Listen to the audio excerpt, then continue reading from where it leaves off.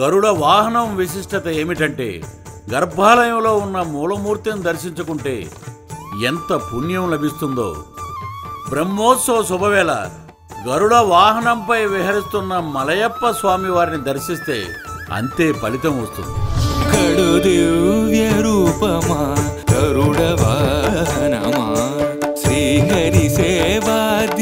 దీక్ష జ్ఞాన వైరాగ్య పక్ష కడు దివ్య రూపమా గరుడ వాహనమా.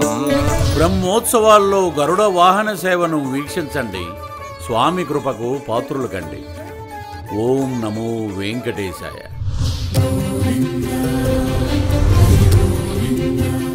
గరుడ వాహనం రేపు రాత్రి ఏడు గంటలకు ప్రత్యక్ష ప్రసారం మీ శ్రీ వెంకటేశ్వర భక్తి ఛానల్లో.